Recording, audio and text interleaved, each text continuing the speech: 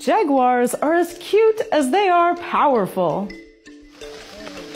They're the wrestlers of the animal kingdom.